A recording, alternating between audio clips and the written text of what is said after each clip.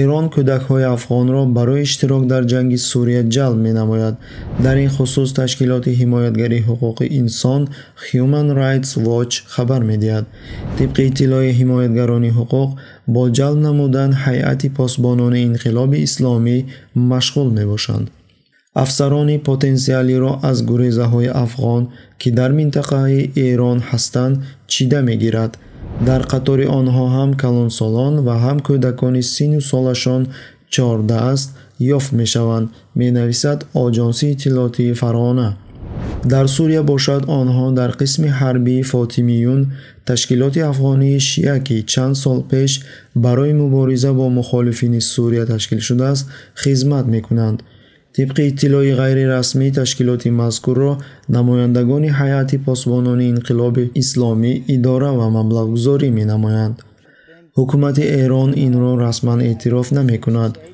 Дар эрон тақрибан 2,5 миллион гурезаҳо аз афғонистон зиндагӣ ба сар мебаранд. Оиди он ки онҳоро ба сурия барои ҷанг мебаранд пештар низ маълум буд соли 2014 манбаъҳои афғонӣ хабар дода буданд ки шумораи афсарони мазкур ба ҳазорҳо нафар мерасад. Чӣ тавре ки қайд шуда буд эрон ба онҳо ба миқдори 500 доллар дар як моҳ маош таклиф мекунад. Инчунин шаҳрвандии эрониро ба онҳо ваъда медиҳад. Дар акси ҳол бо депортатсия ба ватан таҳдид менамояд тибқи баҳогузории коршиносон теҳрон барои дастгирии режими асад дар як сол миллиардҳо долларро сарф менамояд.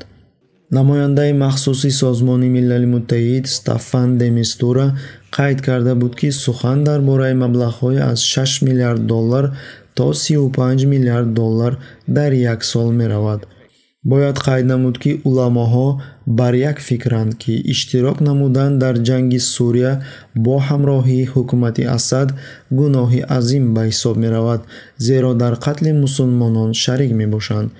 Эрон бошад афғонҳои бечора ва бесаводро барои манфиатҳои ғаразноки худ истифода мебарад. Агар кушта бишӣ шаҳид мешӣ агар нашиам ки пулдор мешӣ